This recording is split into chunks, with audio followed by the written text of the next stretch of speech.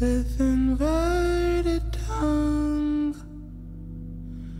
From whence does fulfillment come? And I expel from this mortal shell